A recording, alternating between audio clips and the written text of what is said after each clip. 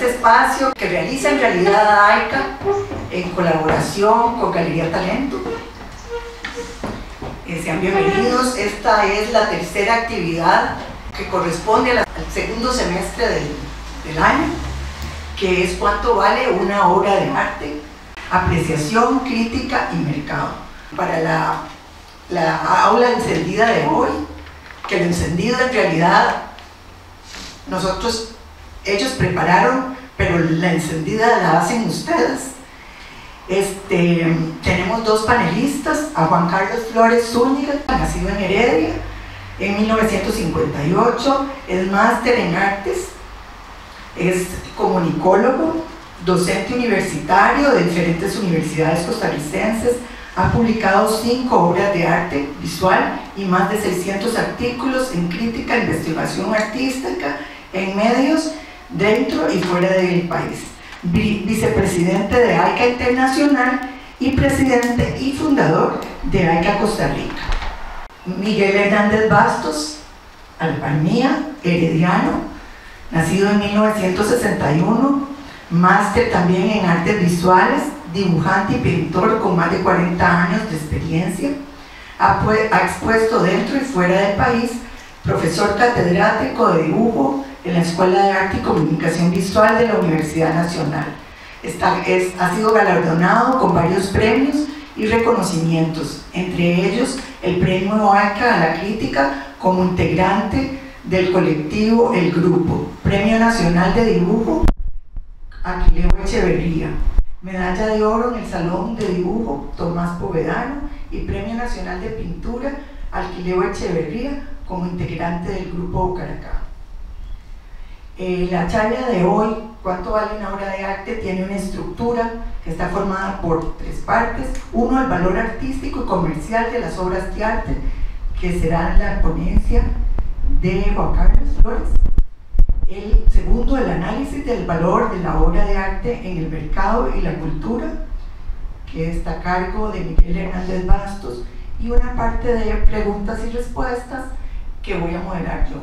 Eh, la definición de valor en el arte es un tema que siempre ha sido muy polémico y controvertido, ya que los elementos, eh, son muchos los elementos que participan en su valor y estos son extremadamente subjetivos. En realidad son más subjetivos que basados en experiencias, que más subjetivos que empíricos. El comprender este concepto es fundamental para todos aquellos que desean dar sus primeros pasos en el mundo del arte por ejemplo, saber qué hace que el arte sea valioso. Que si este concepto de valor tiene que ver con el precio, refleja la naturaleza simbólica del arte o más bien la calidad de su material, el precio. Todo eso es lo que vamos a tratar de definir y dar, si es posible, una respuesta buena. Bueno, con ustedes Juan Carlos. Es que agradezco mucho primero la asistencia de todos esta noche. Gracias a todos los que confirmaron en nuestro medio. Esta efectivamente es nuestra penúltima actividad del año y la hemos enmarcado dentro de un proceso en el cual tratamos de referirnos al tema del mercado y por supuesto del valor de la obra. El día de hoy yo me voy a concentrar en algo y tal vez al principio esto les suene un poco, ¿cuál es la palabra? Disonante porque cuando pensamos en el valor del arte, automáticamente todo de una u otra manera nos sumamos a lo que el mercado dice, pensamos inmediatamente en cómo fijamos el precio de una obra. Porque la palabra valor siempre ha estado vinculada al término precio. Y eso es un problema del mercado y las traducciones. Cuando usted habla con un marchante y le dice cuál es el valor de la obra, típicamente no le va a hablar de valor artístico, ni el valor simbólico, ni el valor técnico, ni su aporte a los movimientos artísticos. Lo que le va a decir es precio. Y el tema del precio decimos que es polémico porque el precio empieza por una serie de decisiones que el artista hace temprano en su carrera. No empiezan cuando usted expone, ni siquiera cuando el marchante en el mercado secundario canaliza o comercializa lo que usted le ha vendido. Vamos a hablar un poco de eso. Entonces, lo primero que yo quisiera dejar claro hoy es que las obras de arte tienen el potencial de enriquecer nuestra conciencia, de la experiencia humana, educarnos e incluso ofrecernos una salida emocional. Pero ¿cómo debemos evaluar exactamente su valor artístico? Como preámbulo, uno de los filósofos especializados en estética más conocidos, el británico Malcolm Bott, respondió en 1997 con una obra que hasta el día de hoy es de referencia obligada al responder esta pregunta, porque él cambió el paradigma. Él indicaba que existe un valor único que abarca todas las artes y lo identifica con la naturaleza misma de la experiencia estética que ofrece una obra, no con algún efecto o conocimiento que pueda desprenderse de ella. Verán, el tema de la experiencia que, en el cual voy a ahondar ahora es un tema que la gente generalmente cuando se enfrenta a una obra, cualquiera de las que nos rodean ahora mismo, normalmente piensan que la experiencia es el efecto que una obra tiene sobre mí. Lo que Malcolm Bott y los filósofos del arte declaran es que no es relativamente importante el efecto que una obra tiene sobre mí, sino mi capacidad para poder sumergirme en la experiencia del objeto, en experimentar el objeto. Es totalmente diferente a la forma en que nosotros generalmente escuchamos, ¿verdad?, revisiones de nuestro trabajo o publicaciones de reviews sobre exposiciones que se dan. Típicamente la gente se concentra en los efectos. Si la agenda es contemporánea, se van a enfocar en el contenido, el mensaje y la parte política, ¿verdad? Si nos dedicamos a un arte más clásico, obviamente el valor va a estar más centrado en lo simbólico. Si es psicológico igualmente. Pero quiero que sepan que todo eso que acabo de decir es externo al objeto. El objeto en sí mismo tiene capacidades para generar en nosotros experiencia siempre y cuando parta de una intencionalidad artística, porque no todo objeto es artístico. En ese sentido, las obras más de arte son más que objetos estéticos. Encierran un valor que las eleva a la categoría de expresiones culturales y sociales, pero también poseen valor comercial como inversión, como voy a explicar al final de mi presentación antes de darle la palabra a Miguel. Pero para poder empezar bien, definamos qué es el objeto artístico. Un objeto artístico es un producto de la creatividad humana, concebido con la intención de comunicar ideas, emociones o experiencias a través de formas, texturas, colores, materiales o sonidos. Esencialmente el objeto tiene que tener estas características para poder operar. ¿Para cuáles son las características y elementos que definen un objeto artístico? Primero que todo, el significado, la originalidad y la intención son componentes cruciales que determinan la naturaleza artística de un objeto. También se considera la técnica, los materiales y la expresión personal del artista. No voy a ahondar ahorita en el término belleza, porque el término belleza trae siempre confusión. Para muchos simplemente la hermosura de algo, cuando en realidad el término belleza no designa hermosura. Es un término estético. Y lo que se refiere realmente es a la experiencia o al placer de mi relación con el objeto artístico, cualquiera que ésta sea si alguien se para frente a una obra como El Grito de Edvard Munch, probablemente no se sienta alegre. Es una obra expresionista. Tiene la intencionalidad de provocar en nosotros angustia. Ese es el efecto que quería crear en su obra. Pero evidentemente cuando nosotros nos enfrentamos a esa obra, no pensamos que eso sea bello.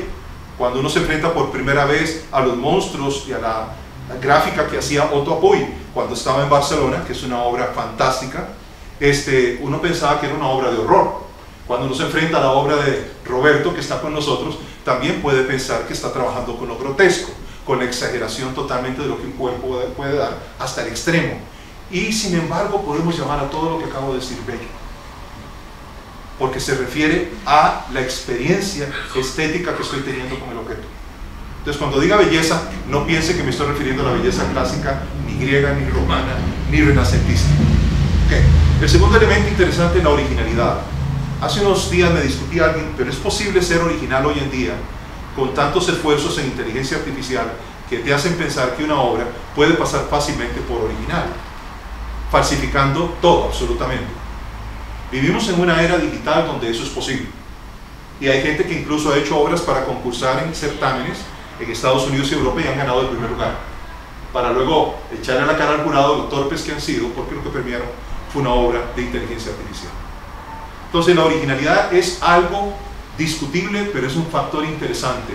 Más que ocuparnos de si algo es totalmente original y no inventado algo, es qué hacemos con los elementos de los cuales dispone el artista para crear esa experiencia. En otras palabras, la originalidad no reside en ser el primero en hacerlo, sino en la solución que yo brindo con lo que ya existe, que es un tema muy asociado ahora a la innovación. El otro tema es el significado. Un objeto artístico puede transmitir un mensaje, una idea o una emoción pero hay que distinguir algo importante. El hecho que un objeto artístico tenga significado no quiere decir que el mensaje es lo más importante de él. Yo como comunicador les puedo decir que yo puedo perfectamente comunicar algo y enviar un mensaje y eso no es nada artístico.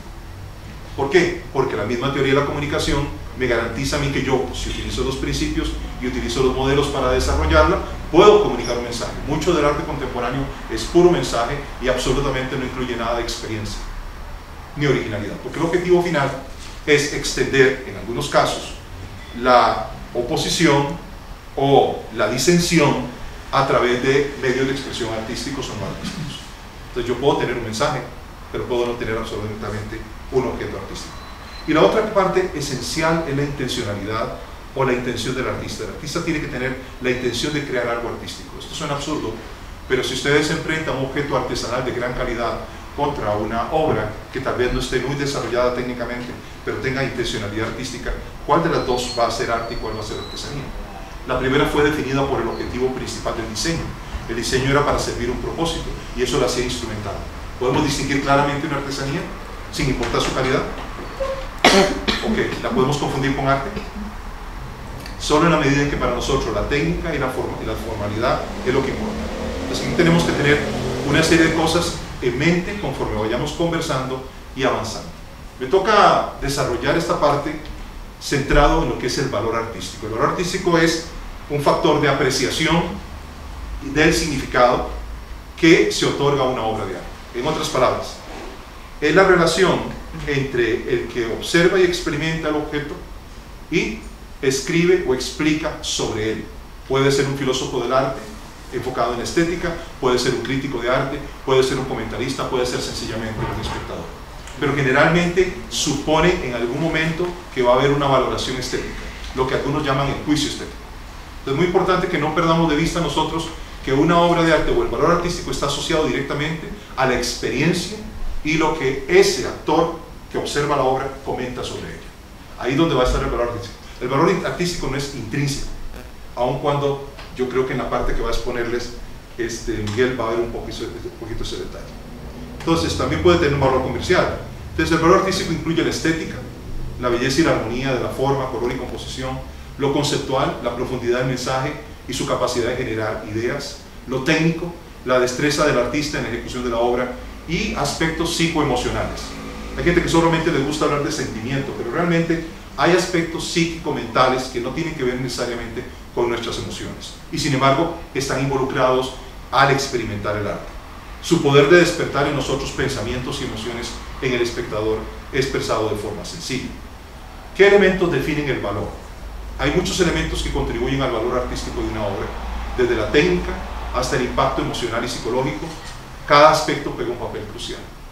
En términos de la técnica, el dominio del artista en la técnica utilizada desde la pintura hasta la escultura. Ahora, la gente que trabaja en medios de expresión dentro de una eh, extensión del posmodernismo que hemos llamado en general o genéricamente arte contemporáneo, perfectamente puede decir, bueno, yo puedo colocar una piedra, un palo y una cuerda y le tiro arena alrededor y para mí eso es arte. Bueno, aquí caminando nomás, a la vuelta van a encontrar eso. ¿verdad? La discusión no es si eso es arte o no, la discusión es cuál es la técnica involucrada para llegar a generar eso. Y claro, muchas de las expresiones contemporáneas no pasan el examen de la técnica. En términos del estilo, es la forma particular en que el artista expresa su visión influenciado por movimientos artísticos. Como dije anteriormente, la originalidad es una palabra caprichosa, porque todos nosotros somos suma de influencias. Lo que hacemos con esas influencias es lo que varía. Hace pocos días yo le decía a Roberto, le escribía en su, en su face, que cuando yo veía las figuras o los modelos con los que él trabajaba, me recordaba mucho a un artista que a mí me gusta mucho, que es Lucian Freud. Y le decía que me lo recordaba porque Lucian Freud se había propuesto desarrollar un estilo en el cual él prácticamente pelaba a los personajes hasta el punto de quitarle la piel, llevándolos a posiciones extremas. Y me recuerda mucho lo que tú haces a lo que él hace, pero lo que hace Roberto no es Lucian Freud. Pero podemos ver la influencia de él, claro que sí. Incluso la admiración personal del artista por ese inglés. Entonces, quiero que entiendan que el estilo es una solución personal que se va afirmando con el tiempo, pero que tiene un altísimo riesgo. El riesgo es convertirse en fórmula. Hoy temprano hablaba aquí con varios de cómo muchos artistas desarrollan un estilo personal, pero al final eso se convierte en una fórmula comercial. Giacometti desarrolla su obra a un punto en su vejez que la gente le dice a todo lo que él hace Giacomettis y él se burla de la gente. Y él dice les voy a vender mis Giacomettis porque para él es como hacer confeti. O sea para él resulta muy fácil. Lo disfraza de una gran dificultad creativa pero en el fondo se está burlando y dedica gran parte de su fortuna a comprar sus primeras obras entonces la gente visita su taller y él les compra las primeras obras que él produjo y él se las cambia por Giacomettis y les dice, no, llévese esta obra a cambio de la que usted trajo, porque este sí es un Giacometti, ¿verdad? Y luego viene a su amigo Víctor, que trabajaba con él en el taller, y le dice, este es el mayor estafador que he conocido en mi vida. Se lo dice delante de un cliente. Lo que quiero decir es que en el fondo el poder primigenio de su primera obra es el estilo que realmente le interesaba.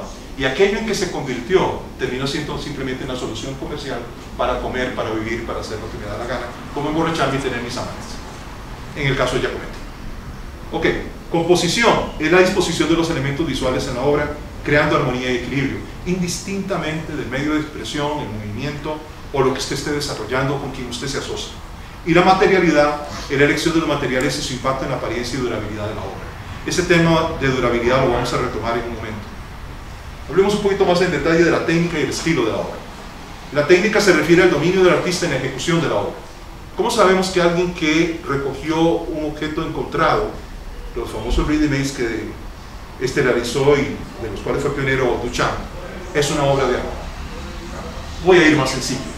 ¿Cuántas versiones hay de su gimitorio? O sea, de su inodoro. ¿Alguien tiene una idea? En los museos, hay más de 26 versiones del mismo inodoro, todos firmados por R. Para información de todos, el primer mingitorio, cuando él lo metió a concurso, siendo el jurado del propio evento que lo calificó, él lo destruyó. No existe mingitorio. Pero, para efectos nuestros, la obra se mantiene circulando. El problema con ciertos objetos es que hay ciertos objetos que no pueden necesariamente, pueden expresar la visión de un artista, pero no necesariamente implican el dominio, porque simplemente recurre a las formas ya preexistentes. Entonces, en términos de técnica, hablamos de la habilidad del artista en el uso de las herramientas y los materiales para cualquier medio de expresión. Todos estos son elementos que van a pesar a la hora de valorar la experiencia estética. No vemos el objeto en aislado, vemos el objeto en relación con todo lo que es. Cómo se hizo, el estilo al cual responde. Y, por supuesto, el movimiento o la influencia o la tendencia o si está marcando una nueva tendencia a qué se está dirigiendo.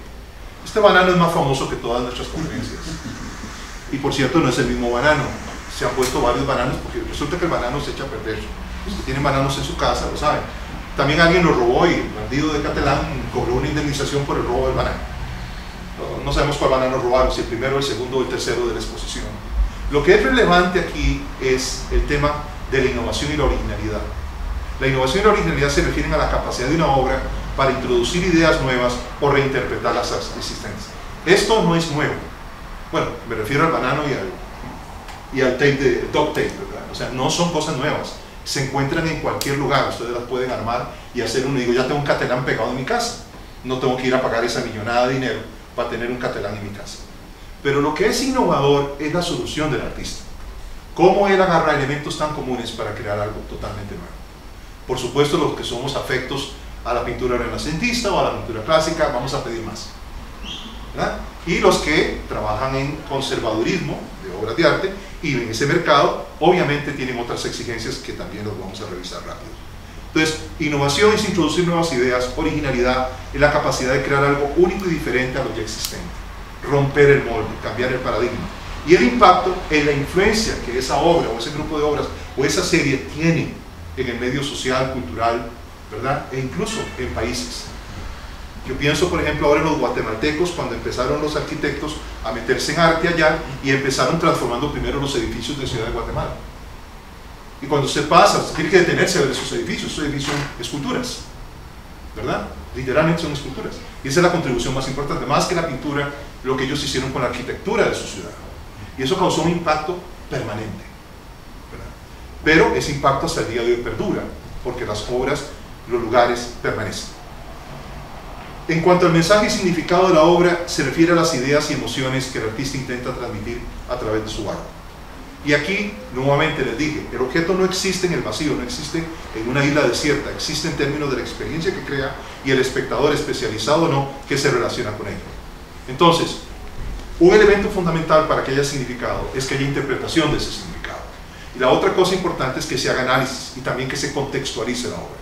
Vean que estoy pensando en términos del crítico, estoy pensando en términos del especialista, estoy pensando en la persona que observa críticamente el objeto y luego comunica lo que ha sido su experiencia. En términos de la interpretación, obviamente la comprensión personal del espectador sobre la obra, el análisis, eso es componer, como bien aprendimos nosotros tempranamente en ciencia, de todo eso es parte, la exploración del contexto histórico y cultural de la obra, y el contexto son las influencias, eventos que dieron forma al mensaje de la obra. Poco se investiga de esto porque en general hay poca información en los artistas, particularmente esos que llamamos los emergentes. Si usted no se sienta con un artista como Ledas, en este caso, no podría averiguar la influencia que Rubens tiene en ella, o ha tenido en ella, en términos formativos, o la que Néstor Celedón en su momento tuvo como mentor. Pero son cosas que uno descubre únicamente en la relación con el artista. Aquí no tengo al artista, aquí tengo el objeto. Me enfrento a esta figura, o a esta abstracción, y tengo entonces que decir, ok, ¿qué influencias y eventos dieron forma a este mensaje? ¿Cuál es el contexto en esa obra? En términos de impacto psicoemocional de la obra, aquí básicamente la capacidad de despertar pensamientos y emociones. Mucho del arte contemporáneo está más concentrado en apelar a la parte racional, por eso muchos de estos artistas, estoy pensando por ejemplo Luis Kamnitzer, se enfocan en que ellos son educadores y no pintores, porque su trabajo es crear una transformación a través de un objeto educativo. Utilizan su expresión, cualquiera que ésta sea, instalaciones o performance o lo que sea, para poder impactar a la gente, pero desde un punto de vista educativo. Ellos quieren convertir la sala de exposición en un aula y quieren cambiar los patrones y los pensamientos de las personas. Entonces está claro que en ese caso estamos ante una expresión que está centrada en despertar pensamientos o lograr coincidencias con estos o mover una agenda ideológica. En cuanto a las emociones, ya sea alegría, tristeza, miedo o asombro, es la otra cara de la moneda. En una parte apelamos a la razón, en la otra apelamos a las emociones. Las emociones, como la alegría, básicamente la sensación de felicidad y positividad que uno siente con una determinada obra. O la tristeza, cuando una obra es capaz de evocar melancolía y nostalgia. O el miedo, cuando provoca tensión y ansiedad en uno. A veces es el propio artista el que está tenso ¿verdad? Y busca una expresión que refleje y proyecta eso en su obra. La pregunta de fondo es, ¿es tan importante lo que él siente como lo que él comunica o lo que más bien el que recibe experimenta? Al final, para efectos de valor, lo que interesa es lo que ese espectador final experimenta. Eso es lo que le asigna valor artístico. Y finalmente la asombro, que es cuando inspiramos admiración y asombro ante nuestro concepto de belleza. Yo creo que cuando estaba aquí yo con Mario hace un tiempo, quedó claro que sin importar el movimiento, no existe muerte de la estética. Todos desarrollan su propia estética, o sea, su propio grupo de principios sobre lo que es la belleza, sobre lo que es el placer. Ahora, el otro aspecto importante en términos de la influencia de la obra en el arte y la cultura es que esta puede ser amplia en términos de impactar a otros artistas y se generan movimientos, o se generan colectivos, o se hacen manifiestos. Hace muchos años que en Costa Rica nadie hace manifiestos estuvo muy de moda. No había grupo que hacer un manifiesto, no importa que el manifiesto luego quedara como el papel higiénico para uso cuando fuera necesario. Al final era algo que había que cumplir porque era la historia modernista de que siempre todo movimiento viene precedido de una declaración. Pero más que eso me refiero al impacto en términos de emulación. El mejor halago que un artista tiene es que lo copien o que lo plagien. Pero otra vez, estamos teniendo un impacto porque estamos siendo emulados. Por supuesto no hay formas, hay formas destructivas de hacerlo y estamos claros ahí.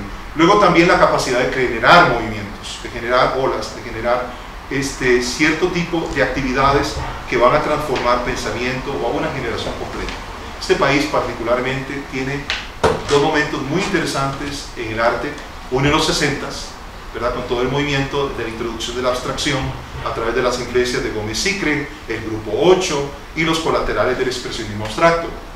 Pero tenemos también un segundo momento muy interesante de confluencia de todos los movimientos en una especie de olla en que todo se mezcla, que son los 70 en que prácticamente todos los movimientos habidos y por haber hasta el momento aparecen representados.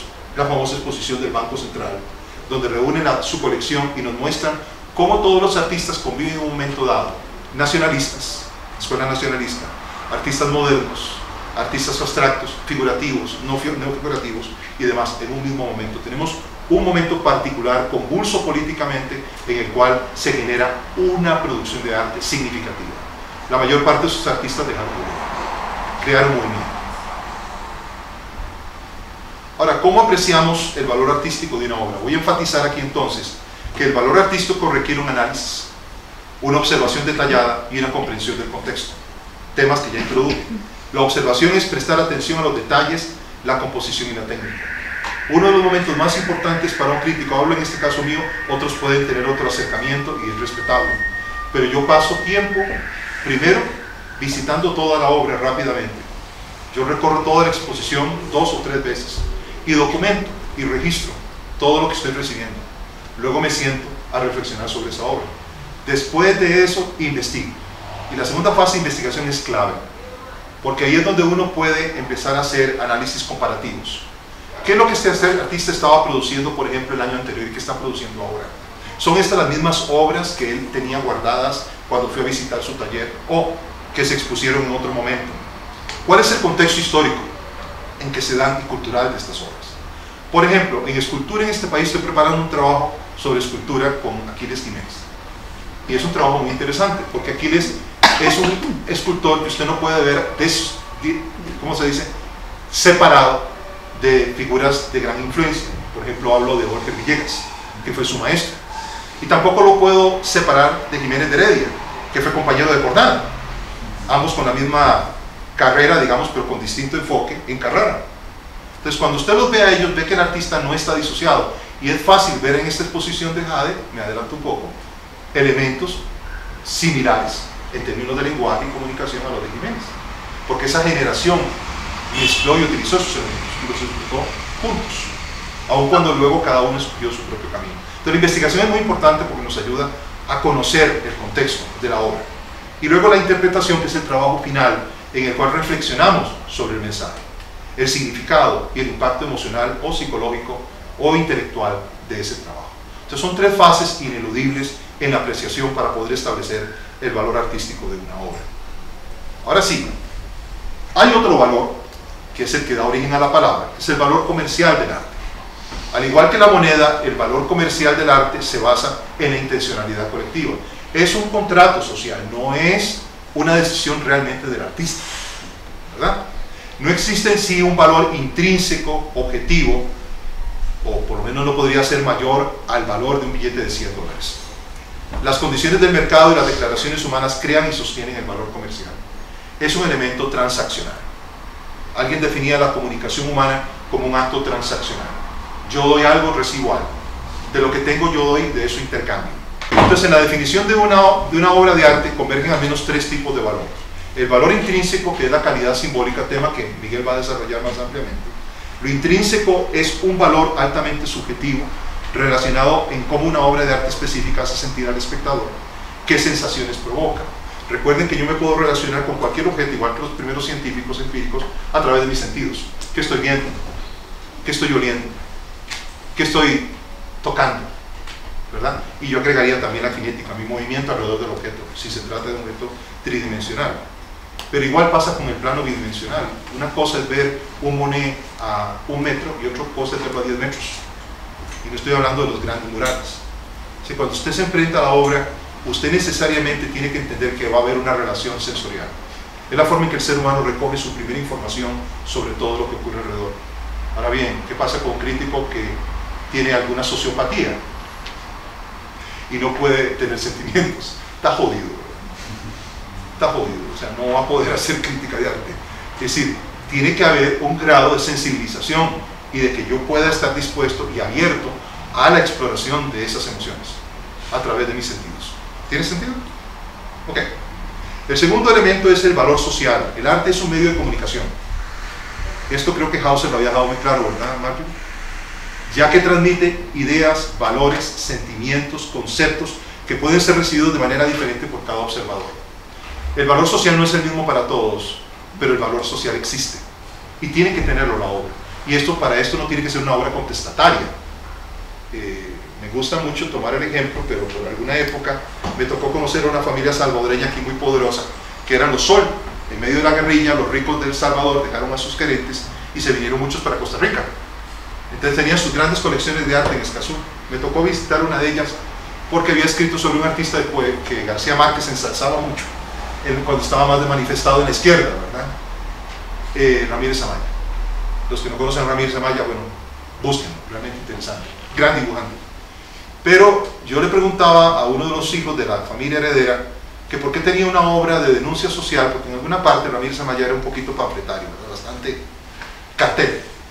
Este, y me dijeron, porque eso tiene valor de mercado. Entonces la obra del artista que protestaba en las calles, que militaba con la izquierda, terminaba confinando su obra a la exclusividad de un barrio en Escazú, donde los grandes millonarios contra los que marchaban en El Salvador estaban disfrutando de su obra. Eso es valor social también. Y es una realidad del arte. Y luego viene el valor comercial del mercado. El valor comercial de una obra se determina exactamente como la moneda en dos contextos. Cuando el artista vende y cuando la obra es intercambiada. A ver, si tenemos artistas esta noche acá. La primera vez que usted vende la obra, usted se despoja de ese hijo, ¿verdad? Por un precio. ¿verdad? Y el que lo adquiere no necesariamente lo hace por valor artístico. Ojalá lo hiciera. Sería una maravilla no tener tantos brutos con plata. Está malo que lo diga, ya lo he dicho varias veces, lo voy a repetir. Mi amigo Manuel siempre dice que yo soy un grosero. Pero es correcto, es un bruto con plata. Ah, podría ser un burro pastando en un gran pastizal, pero sigue siendo un burro. Lo que es interesante es que cuando hay valor artístico y además media una compra, tenemos un conocedor, tenemos un coleccionista experto. Es otro nivel de compra. No hay muchos así. Pero nada más para no perder la idea con ustedes, cuando usted vende la primera vez una obra a un coleccionista de este tipo, usted sabe que la obra se va a continuar revalorizando en dos sentidos, ¿verdad? Socialmente, artísticamente y comercialmente, porque va a ser un coleccionista que va a valorar, valorar la obra. No solamente la va a colgar para que le vaya bien con la nueva pared que acaba de pintar. Este, pero el otro caso es cuando la obra es intercambiada, que es mercado secundario en arte, que es cuando usted vende la obra y la obra luego pasa a varias manos. Créanme que se des, generalmente lo que ocurre con esa obra es que pierde todo sentido de valor artístico. No piensen en Costa Rica. Tomen, yo no sé si ustedes son masoquistas, pero yo a veces veo Sotheby's cuando hace eh, subastas. Y en Sotheby's la noticia no es vender un Picasso ¿verdad? o un Cézanne a 250 millones de dólares. Esa no es la noticia. Es decir, lo, que, el valor del objeto que se transa, eso es lo que vale pero en sí no importa qué hizo Cézanne. ¿Me explico? No importa qué hizo Picasso. Lo que dice la prensa es, la sala rugía, la sala estaba llena de tensión, los asistentes reían, cuando se va el precio más alto aplaudían. Vean lo dramático de una subasta de ese nivel. Y lo único que usted tiene son expresiones emocionales asociadas al precio fulanito pujando contra el otro, le quité el cuadro, ahora el cuadro es mío. ¿Ah? Y a veces ni siquiera ellos. Entonces, el valor de mercado tiene esos dos mercados. El mercado primario, cuando usted vende, usted puede tener cierto control de venta. Y el otro, cuando usted pierde totalmente el control sobre su producto. Porque ya son intermediarios. ¿Para qué hace una obra valiosa comercialmente? Tal vez oigan algo de redundancia, pero con algunos elementos nuevos. El valor de mercado lo determinan principalmente las galerías y casas de subasta, no los artistas. Hay un papel de los museos, pero ahorita les digo cuál es. Los consensos que nacen en dichos contextos establecen un historial de fijación de precios de una obra de arte o de un artista, lo que ayuda a valorar obras nuevas o revendidas en el mercado. Si ustedes entran a un lugar como Priceline, ustedes van a ver la curva de venta de cada obra a lo largo de toda la historia que ha tenido la obra. Desde que fue robada por los alemanes a una familia judía y luego terminó siendo repatriada o revendida en el mercado negro. Pero lo que es eh, valioso en términos del mercado es que existe esa historia sobre el comportamiento de la obra en el mercado con distintos agentes. El contexto en este sentido es de origen de la obra, es un elemento fundamental para la venta de obras que incluso aunque ustedes piensen que tal vez este, son muy contemporáneas, es algo que va a pesar para que el producto como tal, perdonen que la palabra producto, el bien cultural, perdure en el tiempo. Uno de los problemas, hago la paréntesis, uno de los problemas que tenemos nosotros actualmente con el arte contemporáneo es el problema de que cuesta muchísimo preservar el objeto. El gran dolor en este momento de los museos es adquirir tanta obra contemporánea que básicamente se puede descomponer en cualquier momento. Piensen en un par de sacos de arena con unas piedras y alguien curiosamente llegó y barrió el lugar y se acabó la obra contemporánea y cómo recupero esa obra. Ahora imagínense lo que es mantener land art. Casi todo el land art está determinado que va a desaparecer o ya desapareció. Arte efímero. El arte efímero, el concepto del arte efímero. Pero ese es un concepto, no es nuevo es un concepto de los 50 para acá, y si quieren ir más atrás, se van a Duchamp y ya los modernistas, los surrealistas ya hablaban de este concepto, de que el arte no durara. Entonces, el contexto de la obra es un elemento fundamental, puede tener importancia histórica o un cierto significado en el desarrollo de la historia local del arte. La procedencia, esto es algo que todo el mundo te insiste, que sin embargo, cuando le doy vuelta a los cuadros, perdone si alguno sintió que el cuadro se lo había movido en la exposición, me interesa mucho ver si el artista es profesional y realmente se ha preocupado por establecer la procedencia con una ficha técnica atrás. Y la mayoría no lo hace. Ese cuadro se pierde y no sabemos exactamente, no tienen idea. A usar el francés. La parida, que es ir a visitar a un artista que no tiene ordenado, no tiene un catálogo razonado, no tiene sus obras debidamente identificadas, no conoce sus periodos, cero. El primer elemento en una escuela de arte en Estados Unidos es enseñarle a uno a hacer su portafolio antes de que pinte, antes de que dibuje, antes de que lleve la clase de escultura, antes de todo, portafolio. Si usted no tiene un portafolio no puede establecer contexto. No hay forma. Hay que estar adivinando quién es usted. Simpático, Rolando Fava estaba anterior aula encendida y Rolando me decía, me llamó como 20 veces para hacer correcciones a un artículo que yo le publiqué. Me dice, discúlpame, es que yo soy top, digo yo también. Pero es que eso no es así. Digo, bueno, así es como está escrito en el catálogo. El catálogo está equivocado. Déjame ayudarte para que la historia me recuerde correctamente. Pero tengo la oportunidad de hablar con el artista. ¿Cuántas veces ya no tenemos la oportunidad de hablar con el artista? Rodolfo Stanley, Gonzalo Morales. ¿Quién tiene la información correcta? ¿Dónde está debidamente catalogado? La procedencia también es muy importante porque a veces las obras no han pertenecido solo a una sola persona, que pasan unas y otras, especialmente en grabado cuando encontramos esas pruebas de artistas ¿verdad? que no es una prueba de artista, pero es un millar de pruebas de artista este, que andan circulando como originales. Y la preservación y la autenticidad, que es el elemento que les decía del etiquetado de la obra. Muy bien. Términos de conclusión de esta parte, el valor artístico es fundamental para la apreciación y comprensión del arte. Permite que las obras trasciendan su valor, transformándose en expresiones culturales y psicoemocionales y no solo en activos financieros. Voy a ponerlo de esta manera. Si una obra es únicamente apreciada por su valor monetario, es lo que llamamos valor instrumental. Es una obra que definitivamente tarde o temprano va a desaparecer. ¿Cuántos recuerdan ustedes a los posmodernos, la pintura posmoderna, que saturó los mercados, especialmente de argentinos, ¿verdad? de cubanos, y llenó todos los museos? La mayor parte de esa obra no existe ya. La mayor parte de esa obra no se exhibe o está embodegada. Es una obra que se vendió a altísimos precios, fue una moda y simplemente se fumó de la escena, porque el valor artístico no la respaldó. Yo sé que a todos les encanta Warhol aquí, ¿verdad? Pero Warhol siempre dijo que él producía obras para gente que no las necesitaba. O sea, que no era solamente efímero, sino que era inútil lo que estaba haciendo, porque no llenaba ninguna necesidad. ¿Por qué el arte es una inversión valiosa? Primero, porque es un valor estable. La mafia invierte mucho en arte. Aquí la gente se preocupa de cuánto dinero lavaron en tal negocio, el otro en el periódico. Y yo digo, más se lava con obras de arte. Porque es el valor más estable de intercambio en el mercado. Pregúntenle a los narcos. Y ellos no saben nada de arte, la mayoría. Pero compran arte.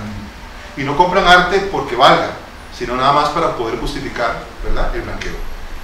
Pero el arte no se ve afectado por las fluctuaciones de mercado lo que lo convierte en una opción segura frente a otras inversiones. La segunda cosa es que tiene una evaluación gradual, el arte se aprecia de forma gradual, proporcionando un rendimiento continuo sobre el tiempo. También la diversificación, el arte complementa una cartera diversificada en el caso de los inversionistas. Y el patrimonio familiar se transmite a las generaciones futuras asegurando su valor y legado. Por eso es una inversión estable. Este cuadro lo saqué la semana pasada, no es nuevo, pero representa las ventas de arte del 95 al 2000. Yo quiero que observen la línea roja. La línea roja que va disparada como un cañón desde 1995 es lo que se llama arte contemporáneo. ¿Ok? No se confunda. Arte contemporáneo no son todas las piedritas con ramitas o, las, o las, fibras lindando en una pared, no. Hay unas cosas muy buenas, pero otras que no lo son. Eso se refiere a todo el arte moderno en adelante, siglo XX en adelante.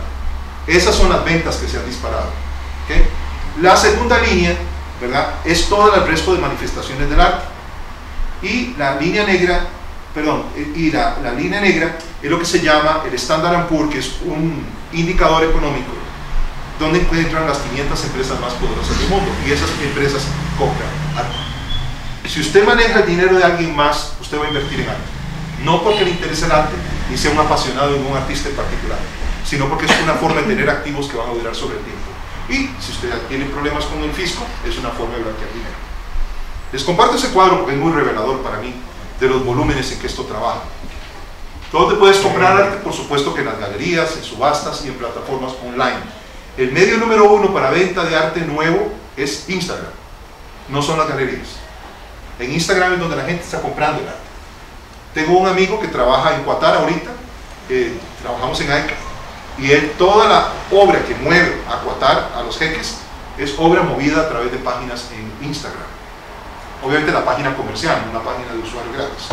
Este, y es interesante porque ahí se está moviendo la mayor parte de la producción contemporánea. ¿Cuándo debemos invertir en arte? Y esto tal vez les sirva para educar a algunos de sus compradores. Primero, siempre se requiere hacer un análisis continuo del mercado. La gente se queja en Costa Rica de que hay pocas galerías, de que casi no hay marchantes. Yo más bien estaría muy contento que no haya muchos marchantes. ¿Hay marchantes aquí esta noche? ¿Ven? Pero mi punto. No hay muchos marchantes.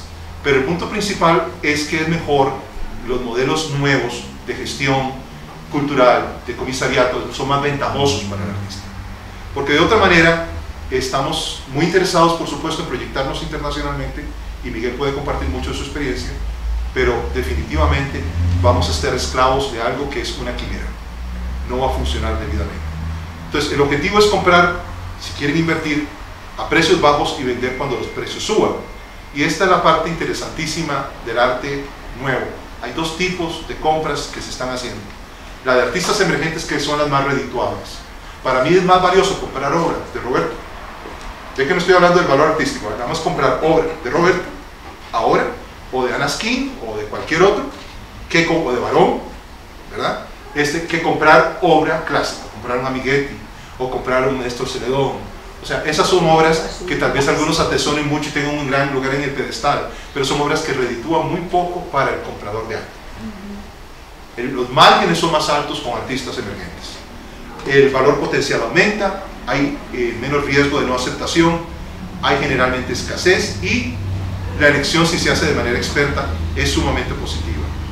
Los artistas establecidos me pueden ofrecer un retorno estable, por ejemplo, vender Rafa Fernández ¿verdad? o Gonzalo Morales es muy estable, pero no hay margen grande para el comprador, ni para el vendedor, ni para nadie. Y la otra cosa es, implica menos riesgo, pero realmente no estoy haciendo una contribución clave al arte.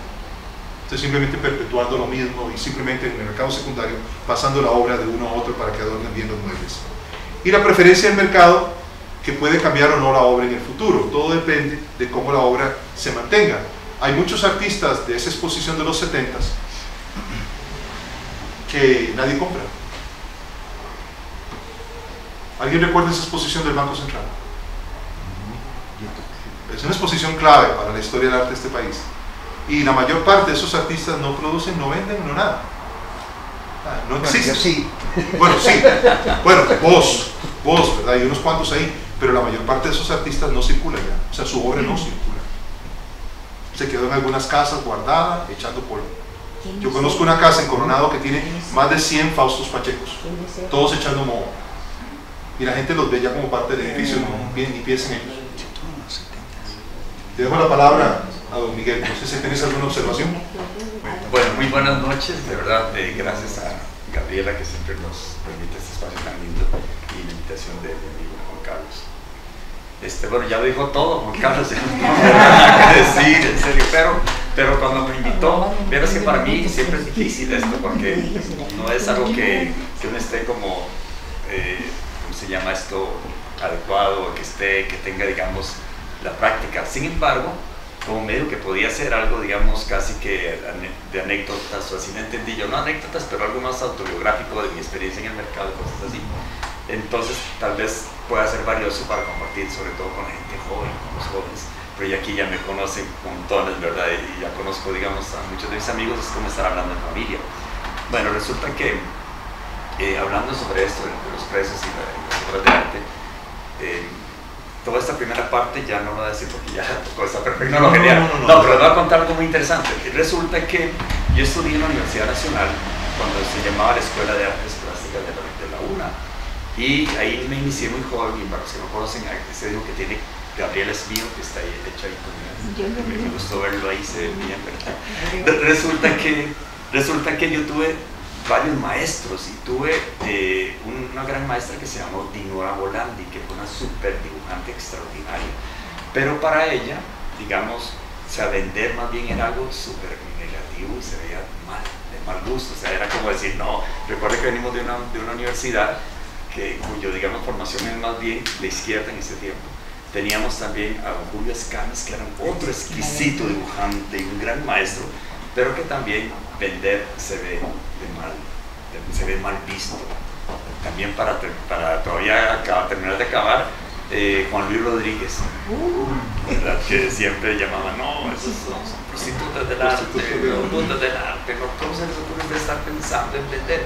Bueno, y tenían razón, o sea, yo me formé con ese criterio de que no hay que vender, o sea, de que vender los dibujos, las pinturas, no es bueno pero por hecho que en aquel tiempo estaba la universidad, ¿te acuerdas? Que siempre cada mes hacía como, compraba obras a los estudiantes y cosas así.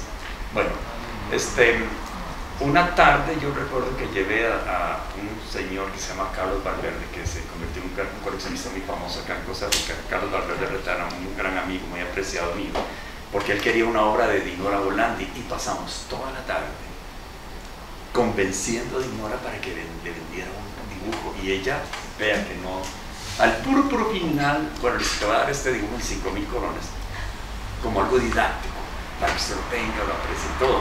Bueno, tanto Dinora como Julio eh, lograron, o sea, lograron coleccionar de su, de su propia cosecha una inmensa colección, una producción muy, muy grande, que fueron, eh, que eventualmente donaron, ¿verdad? Dinora, Dinora la, la donó aquí a los bancos del Banco Central y don Julio la donó a la Universidad Nacional.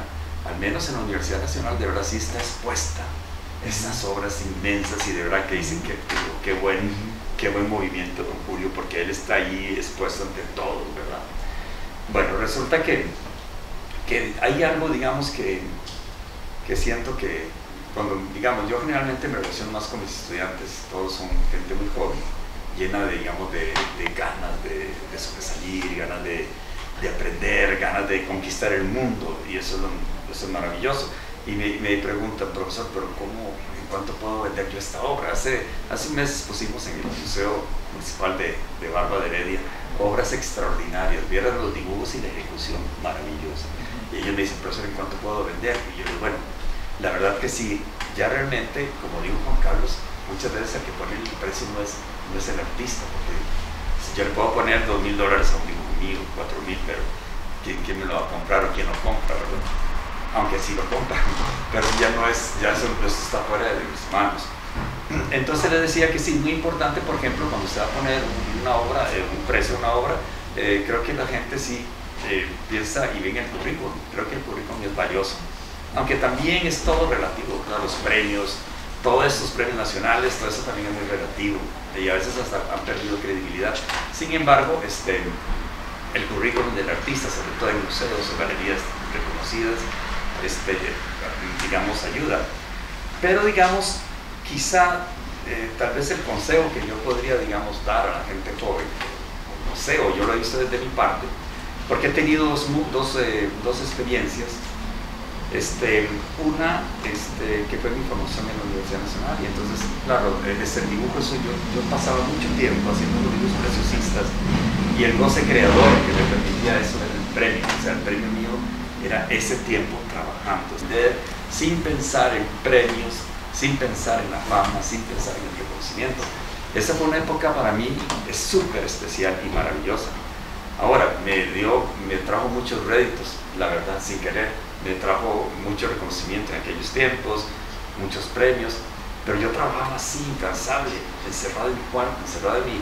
Solamente tenía un cuartito así de este tamaño y ahí pasaba, dibujando, dibujando, dibujando y de verdad fue de mis mejores momentos.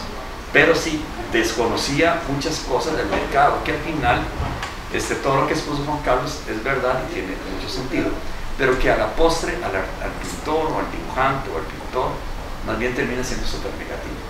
Porque yo después, por ejemplo, terminé de ahí, o sea, terminé mi licenciatura en la escuela y después recibí una beca Fulbright, la SPAO, que es una, una beca súper buena, que, que fue, digamos, una maravilla haberla obtenido, y fui a Nueva York, o sea, de ahí me trasladé directamente a la meca del arte.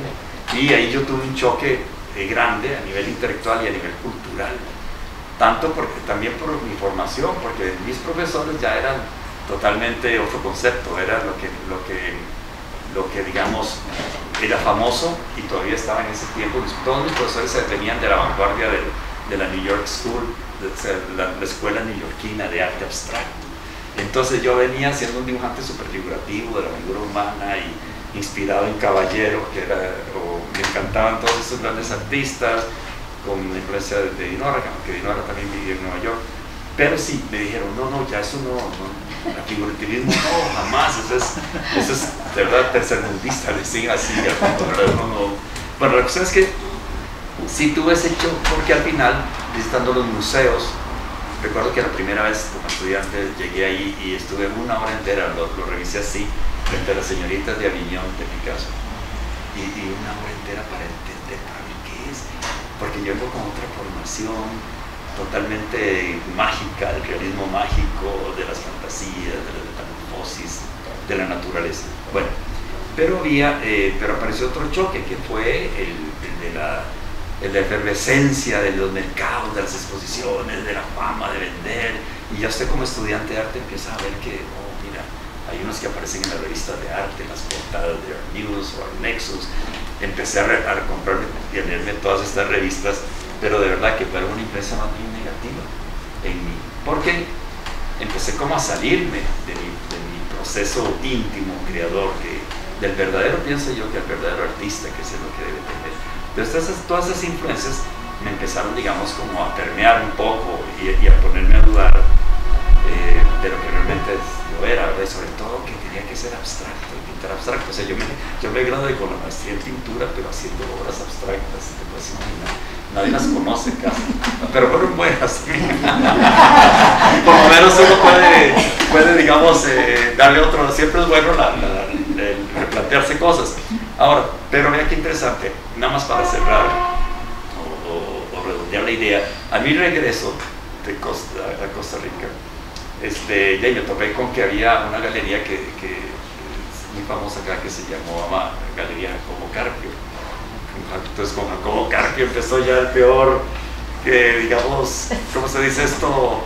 Cuando uno va en procesión, cuando uno va así, que va sufriendo, ¿verdad? Porque resulta una pasión, una, pasión, una, una, una agonía, ¿verdad? Si un via crucis, de verdad un via crucis, porque en serio, no es estoy hablando desde el punto de vista, digamos, de, cuando uno era joven y, todavía estaba bastante inmaduro o pensaba que todo lo que vi ya sobro, ¿verdad? Entonces, mira, nos íbamos de viaje a las ferias, en aquel tiempo viajamos a Caracas cinco veces, fuimos a la feria de arte en Miami, a las ferias de arte en España, o sea, y todo era tan superficial y vano. Eso es lo que yo lo pensaba de ¿verdad? Porque ahí pasa todo lo que estaba hablando Juan Carlos, que obviamente las galerías de arte tienen que crear un objeto o sea, tiene que crear un producto Y qué más fácil que inventar un artista, agarrarlo, tener un estilo, y, eh, ¿cómo se llama? Este, crearle catálogos, pagar, digamos, artículos en las revistas, que fue lo que después me fui viendo, me fui dando cuenta de muchas de, estas cosas. Y sentí como de verdad mucha, algo que no era lo que yo de verdad andaba buscando. Y de ahí sí, digamos, eran competencias, a ver quién vendía más. ¿Verdad? Leonel González era un exitoso, con tanto talento, ¿verdad? Leonel González. Pero se los enseñaba, mira, vendí, mira el cheque, 100 mil dólares, yo vendí esta obra. Y ya estaba entrada y esa, esa sombra que usted me había vendido esa, una pieza, me explico. Esa competencia que no tiene nada que ver con el arte. Pero de todos los artistas, de verdad que tenemos un ego grande y ese deseo de fama y reconocimiento. Los artistas. De verdad. Yo recuerdo a Alejandro Colunga, un artista mexicano, en, en las ferias pasearse así con tres modelos de ese lado, tres modelos de este lado. Solo que las de Botero eran prostitutas. bueno, la que solo lo que, lo que digo es que el cine, o esas fiestas privadas, digo, qué lejano está de esa, de, de, esa producción. Entonces mi maestro, o de, ese criterio de ser artista, tuve un maestro muy grande que se llama Stephen Green. Él ganó el Gran Premio de la Bienal de París en aquellos tiempos, creo que en el año 61, cuando yo nací. Resulta que que él me decía, Miguel, usted viajando tanto, ¿en qué momento pinta? y es cierto, ¿en qué momento pinta? Pero también otra cosa que me pasó, es que todo, todo lo que estoy hablando, que es así tan aleatorio, tal vez pueda servir para, para, para conversar. Cuando yo llegué a, a, a Pratt Institute, me, como alumno que va a sacar la maestría, me dieron un, un alumno de posgrado, te dan un estudio, una parte, digamos, como el tamaño de esto para usted solo o un poquito más grande que esto, pero imagínate. Y con las ventanas, e, es, ese era un edificio abandonado que estaba en Brooklyn, nada más cruzando el río, el East River, este, se ve así, así, digamos, yo tengo la ventana del estudio y al puro frente está todo la vista de Manhattan. Todo, todo, todo. Y el sonido, se oye el sonido así como una bestia, el sonido rugiente, las luces, todo.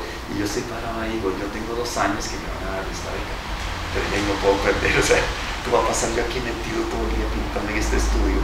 O sea, yo, tenía, yo necesitaba ver museos, necesitaba ver galerías, necesitaba caminar, necesitaba aprender. Siento un compañero a la par que era un prodigio del dibujo, un, un coreano, y él pasaba las 10 horas, él me decía, hay que morir en el estudio, me decía él a mí. Yo llegaba a veces a las 8 de la mañana y ya estaba él. Me iba a las 8 de la noche y él se quedaba y él me decía eso, yo vivía con toda esa, digo, oh Dios mío, tiene razón, hay que producir, pero también está el mundo que está ahí, ¿verdad? Tengo que, que, que, andar por todo esto. Bueno, tal vez lo que yo quisiera, eh, ya para cerrar de verdad, es esta dicotomía que yo he encontrado y que he podido resolver en mi caso personal con la docencia. El tener, el tener la suerte de, de digamos, de, partir, de, de, desarrollarme también como, como algo que me gusta, una pasión, que es dar clases le puedo complementar sin tener esa urgencia tan tremenda de vivir, digamos, de la, pintura. Porque a veces, digamos, sinceramente me he pillado a mí mismo haciendo obras que yo sé que van a gustar a la gente. ¿Verdad? Porque tal vez quiero, quería vender o tal vez quería hacer un viaje. Yo sí probé siete años en Nueva York como artista, porque este señor Stephen Green también me dijo, mira Miguel, estás viviendo una burbuja, estás aquí con una beca Fulbright te están dando mil dólares por mes, te están pagando todos, es, es tú, ¿no? Tienes que devolverte de nuevo, vivir como un artista, starving artist, me dijo, un artista sufriente, o, o venir a morirse de hambre, ¿no? Y de verdad le hice caso, te puedes imaginar. Después de estar, después de ser eh, profesor en propiedad en la Universidad Nacional, ganando súper bien y todo, ya y me devolví, renuncié a todos mis privilegios, renuncié a un puesto que tenía, ganaba súper bien y me fui para Nueva York. Y ahí sí es cierto que la vi, como dicen, de verdad dura, durísimo, pero crecí, crecí montones. Pasé siete años y dije yo, uy, no, es que vea lo que pasó, nada más para como un pequeño, eh, como un pequeño anécdota. Eh, leí ahí en el New York Times que en Nueva York habían 600 galerías de arte en ese momento. Y ahora muchas han cerrado y ahora de verdad muchos se venden en línea, pero eran otras realidades oiga, 600 galerías de arte, más eh, en ese tiempo vivían en Nueva York 80 mil pintores o artistas profesionales, no estudiantes, no, 80 mil, con toda la ambición, con todo el talento, con toda la potencia. Más decían, más agréguele otros 80 mil artistas que vienen dentro de los Estados Unidos. O sea, yo, mis compañeros eran austriacos, eh, alemanes, franceses, eran de todo el mundo. Lo que pasa que como artista, digamos, me pasó, me pasó a mí esto. En las galerías, de esas 600 galerías, quizá, quizá 30 eran las más importantes, las que a uno le hubiera gustado, digamos, ser parte o exponer ahí.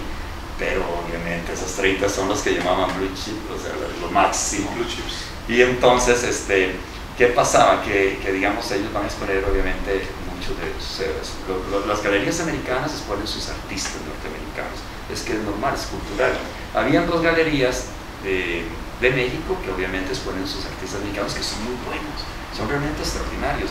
Y también había una, galería de Argentina que exponía así a Cuitca y a todos los famosos, y otra que exponía a, Brasil. Entonces, como que había, había tiene que haber una infraestructura, una infraestructura, digamos, casi que del mismo país, como que sostenga, ¿verdad?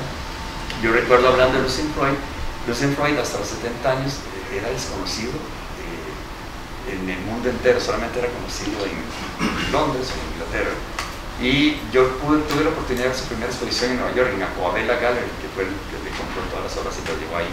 Y ahí yo leía de verdad que, que sí, tuvieron que hacer toda la estrategia, siendo él un genio, era un genio maravilloso, este, de una estrategia de mercado y todo para llevarlo al Museo Metropolitano, al Museo, digamos, de Arte Moderno y todo esto. Bueno, como síntesis, este, creo que si esto, de, digamos, de los precios en el arte, el reconocimiento, creo que está fuera del artista, en sí. El artista o el pintor debe realmente trabajar, crecer a nivel emocional, espiritual, intelectual, ser muy consecuente con lo que hace, no, no dejarse llevar por las modas, que también me ha pasado, en serio, ha sido inevitable. A veces he pintado lo que estaba como en boga un poco, en eso, es que es muy difícil de traerse. Cuando usted ve que hay precios de 10 mil, 20 mil, 15 mil, ¿verdad? Y usted dice, pero ¿cómo? Y lo que yo estoy haciendo no, Bien, voy a aprovechar la oportunidad para aclarar una malentendido. Resulta que yo fui invitado a la Bienal de Venecia, que yo representar a Costa Rica, y fui seleccionado por Vicky Pérez Ratón, que eso ya es un, de enorme privilegio, y estuve en, la Bienal. Lo que pasa es que para aquel entonces, la Bienal, eh, digamos, los artistas latinoamericanos estábamos todos metidos en un pequeño recinto que era como, digamos, era casi como el tamaño de, de, de, este lindo espacio era lo que se llamaba eh, palacete, ahora no recuerdo bien, estaba muy lejos de donde estaba todo el centro, de donde la, las cosas importantes de la Bienal de Venecia, tanto así que ni llegaban los jurados ni nada. Entonces todos estábamos ahí revueltos y eh, digamos los únicos que, digamos todo, todas las islas donde están los famosos grandes galerías de arte estaban, digamos, solamente como los países muy poderosos que tenían su mausoleo artístico. Su pabellón. Su pabellón. Sí, y es precisamente esa vez la ganó Ignacio Iturria, que fue precisamente que estaba inaugurando Uruguay, su pabellón, o sea, un vieras que enorme. Pero lo que voy a decir, esto no tiene nada que ver con la, con la de Venecia, sino que, que yo tenía un gran amigo en ese tiempo, que es un escritor muy famoso que se llama Virgilio Mora Rodríguez, que fue el que escribió Cachaza una persona muy importante, pero era muy rebelde y era una persona así muy... Eh, estaba muy enojada con el país, él, enojado. No con solo el país, sino con todos en realidad. Eh, pero es muy grande, él es Él vivía en Nueva York. Él vivía en Nueva York, sí, sí. Es que lo que pasó fue que, como él escribió Cachaza, lo, lo, lo, echaron del hospital donde él trabajaba porque era una crítica social muy, ¿verdad?, incisiva. Entonces él se fue para allá. Y entonces, de la entrevista, cuando yo iba saliendo para, para Venecia y me llegó de La Nación una entrevista, o sea, un artículo, que querían escribir un artículo sobre mí, pero en realidad era una entrevista. Yo, imagínate, ya yo le estaba, o sea, yo llegué y cometí el error en mi momento de, mira, Virgilio, porque usted, usted me conoce un poco, porque usted no, no contesta estas preguntas. Imagínate el error terrible. Entonces, imagínate, yo estoy representando a Costa Rica en la Bienal de Venecia y él contestó esas preguntas como si hubiera sido él. Entonces, él puso, él puso, digo, no, yo de Costa Rica nunca he odio ese país. Y, salió, y una vez, no sé si se acuerda el maestro Otto creo que me lo, me lo, me lo con toda la razón. Y yo digo, ¿cómo yo que, yo, que no era yo. Sí, exacto, y por dicha que hay poca memoria, por dicha ojalá. y que, no, ¿verdad? Pero, Pero, ahora pero- sí se van a acordar. pero Pero pienso que que ahora sí. vendido en el país. No, no, no, y, y de verdad que Pues interesante más eso, vendido. porque también hay que ser En ese cuidadoso momento. en, esos aspectos, ¿verdad? Yo por andar en esas carreras y todo no, no, lo, no lo pensé, pero aprovecho esta oportunidad para aclarar eso. Realmente este, pienso que Costa Rica es un país maravilloso y me ha dado a mí de más, porque volví de nuevo, otra vez con una mano adelante, otra atrás. Y este, un gran artista también que hizo su carrera, eh, Rudy Espinosa y Fernando Calvo, grandes amigos míos, me dieron otra vez la mano y me dicen, no, Miguel, venite con toda tu experiencia otra vez aquí a la Universidad Nacional y dar las clases de dibujo. Y claro, yo, yo fui ahí quedándome, quedándome. Y este, eh, ya, y entonces a lo que voy es que he podido florecer de nuevo, otra vez estoy como floreciendo en medio de esta crisis y siento de verdad que hasta ahora se me están ordenando las ideas para producir realmente la obra que quiero, que quiero y que tengo en mi mente, que siento que está aquí, que tengo que sacarla, ¿verdad? Al contrario, cuando andaba en estas galerías, eh, yo recuerdo las famosas frases de Jacobo que decía, no, no, el, el árbol que, el árbol que dura mucho en dar frutos se, se pone malo y se cae, ¿verdad? Y eso me, me, me decía a mí, "Tienes razón", y ahora pienso que no, hay frutos, esperemos en eso, hay árboles que necesitan mucho tiempo. Cada vez que yo pienso en vender, más bien me va mal. O sea, Hago una obra fea, ¿verdad? Tal, tal vez pudiera nada más para terminar esta anécdota, que es que es dos anécdotas que me parecen que es, que es interesante. Bueno, Siga, siga. que y ya, bien. resulta que en una de las, en una de las bienales, en una de las ferias de arte de Miami, que yo fui, voy ahí y estoy ahí y le digo, Jacobo, pero ¿por qué no Jacobo, no, no, tienes que estás poniendo a todos los artistas, ¿verdad? Y, y ya al final, como al segundo, tercer día antes de que terminara, yo estoy bastante joven, tengo 30, y- 32 años, o sea, quiero como, estoy en un momento así de apogeo según yo del arte, ¿verdad? Y entonces resulta que que al final, el día, o sea, como faltando dos días para que terminara la feria, me dice, bueno, poné, poné tu cuadro. Y entonces yo, yo tengo así, estoy sacando la obra que llevé, que eran unos torsos masculinos así con unas figuras raras. He hecho tantas cosas que, bueno, ya ni me acuerdo yo. Pero resulta que en ese momento vienen dos, dos señoras y esas dos señoras vienen así caminando y ven la pintura, ni siquiera recolocado, está en el piso. Y ella me dice, ella dice, oh, ese es el cuadro que ando buscando, está en la obra. Dice, qué bueno, esa es una obra maravillosa. Entonces, pues, ¿cuánto es que vale? ¿Cuánto es que vale? Yo digo, mira, yo no sé, yo creo que anda como 3 mil dólares, pero tiene que preguntarle aquí a mi dealer, para que es Jacobo, y Jacobo es un, un bicho, ¿verdad? Que anda por ahí. La cuestión es que entonces yo le dije, bueno, creo que es 3 mil dólares. Y dice ella, si es 3 mil dólares, lo compro, lo compro, pero mañana vengo y traigo todo el efectivo. Y yo dije, ay, yo eso que ocupo porque ya no tengo dinero, ya más quería ir a Nueva York y todo eso. Y resulta que le dije, mira, Jacobo, aquí está, ellos me quieren comprar en 3 mil dólares. Yo le dije eso y dice, sí, está bien, 3 mil dólares. Entonces resulta que ahí quedó, el cuadro los pusimos y yo estoy contento porque ya hablé con las, ya estoy feliz, ellas quedaron en llegar al otro día. Y resulta que en la tarde viene un coleccionista que se llama Luis Calzadilla y le gusta el cuadro también. Entonces, entonces ya me dice, me dice, como, no, es que yo no puedo vender a esas dos señoras porque, porque no, este Casadilla es mucho más importante, usted tiene que estar en una galería de, de mucho mejor y todo. Y yo, no, no, esa señora ya dimos la palabra y esto, que- ellas tienen un amor porque Luis Casadilla llegó y estuvo, yo no lo vi, yo lo vi entrar y todo, pero yo no sé realmente lo que pasó. Bueno, la cuestión es que las señoras llegaron al otro día. Imagínate, yo quiero, yo primero yo quiero, primero porque está ahí, yo sé que son 3 mil dólares, Jacobo gana la mitad, el 50% y yo recibo 1.500 dólares, que es sobre el trato en esas galerías, ¿verdad? Pero por lo menos yo sé que tengo 1.500 dólares. Resulta que le dijo que no, y yo no puedo hacer nada, no se puede vender, ves, ahí están esos problemas, a veces emocionales y personales. Sí, éticos, sí, que, que entran ¿verdad? en los artistas. Entonces, no sé, a veces uno como persona, digamos, para mí es más valioso la persona que aprecia el arte que no el que la, puede, que la va a comprar, ¿verdad? Bueno, y entonces, este, llegó eh, al otro día, de ahí terminaba la feria, terminaba la feria. Y entonces llegaba todo y decía, ay Miguel, vieron lo que pasó. Ya las, ah, bueno, las señoras se fueron, pero me dijeron, me dijeron, no, yo quiero un cuadro así, yo quiero un cuadro así. Por favor, tome mi número. Me dieron el número y todo y me dicen, cuando vengan, porque yo digo, yo voy para Nueva York, yo les dije, yo voy para Nueva York y en Nueva York yo pinto, porque iba por una semana y regreso a Miami, a mi regreso a Costa Rica. Yo iba a Nueva York a visitar amigos y todo eso. Entonces resulta que, que yo quedé tranquilo porque la señora se llevó mi número.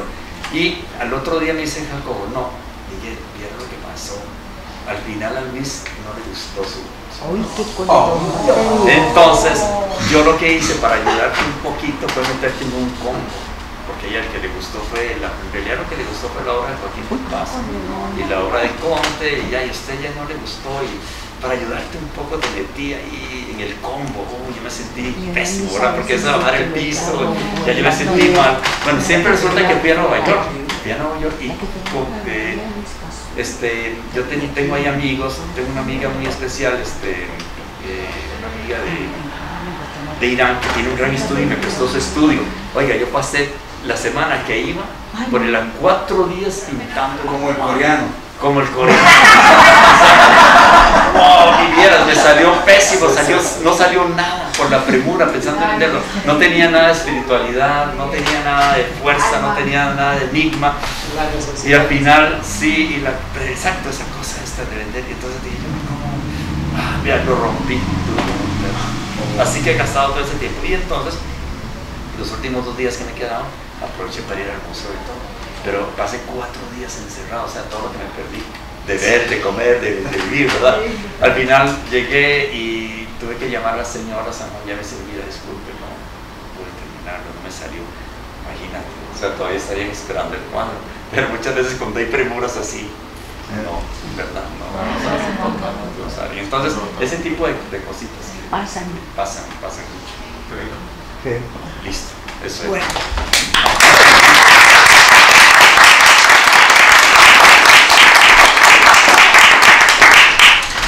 Eh, yo creo que con las dos ponencias este, nos queda súper claro el valor artístico del arte, explicado clarísimamente, vivido este, por Miguel. Y sí, yo creo que nos hizo vivir ese valor artístico, que lo tenemos a flor de piel, y el otro artista también, porque ambos son artistas, nos hizo ver la variedad de factores que forman el valor del arte, el valor social, el histórico, el cultural, el valor artístico también.